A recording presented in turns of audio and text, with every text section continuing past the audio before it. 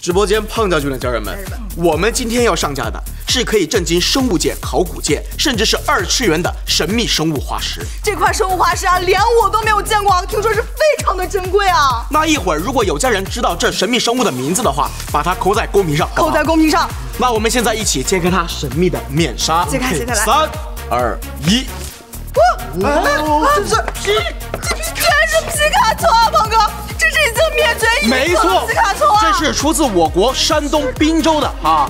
这据碳十四检测，它是生活于六千万年前白垩纪晚期的皮卡丘幼崽化石。可以看见它非常的小，是不是？它刚出壳，它就变成了化石。这块皮卡丘啊，就是因为太珍贵了，所以灭绝了呀！我呼吁大家要爱护神奇宝贝。这个杰尼龟就是因为大家平时太爱吃龟苓膏了，所以杰尼龟已经灭绝了呀！吃龟苓膏就是吃饭的时候不要再就大蒜了，妙蛙种子都已经退化了呀！大家要爱护神奇宝贝。好，家人们，好好好，我们不滥捕滥杀神奇宝贝，不食用神奇宝贝，从我们胖将军做起。从我们胖将军同意的扣个六，同意啊，扣六啊，家人们。好，别哭了，友别哭了啊！那我们又有黑粉。说我们卖假货，黑粉没必要在任何一说了。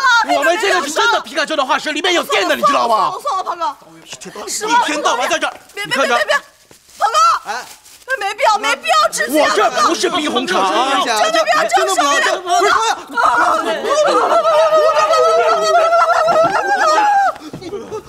哎呦，没事吧？没事吧？啊，黑粉，我们胖将军用生命来证明，这是真的皮卡丘的化石。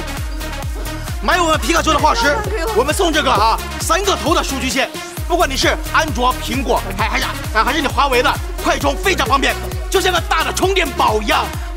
而且你们不要把这块皮卡丘化石再垫到鸳鸯锅底了呀！它虽然能出火，但是不要再垫了，它这么珍贵。买我这个皮卡丘化石，相当于你买了一个超大的充电宝跟一个便携式的电磁炉。准备上架，家人准备。太珍贵了！我说一个数，准备。来买就是把一箱濒危的皮卡丘呀！恭喜旭旭宝宝！李丽丽给我往后扫一扫。那剩下的家人们，只要你们一键三连，我给大家送妙蛙种子的种子，妙蛙种子带回家淋淋水，可以长出新的妙蛙种子。一键三连，谢谢家人们。